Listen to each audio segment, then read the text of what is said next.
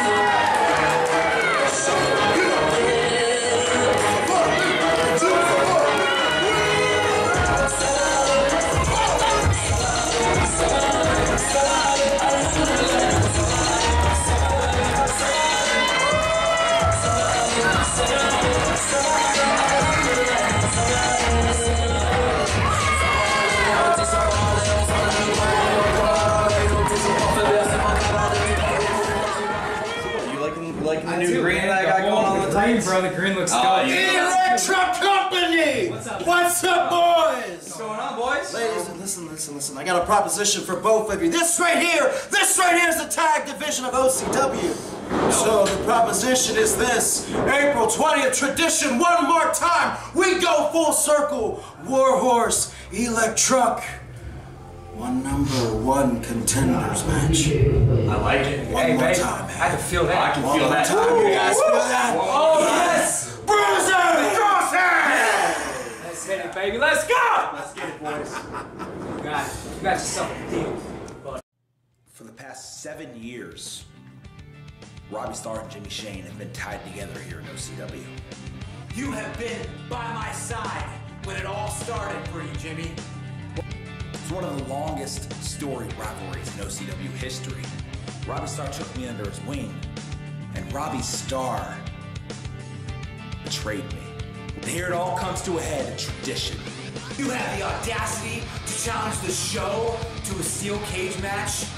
Tradition 16. April 20th, Akron, Ohio.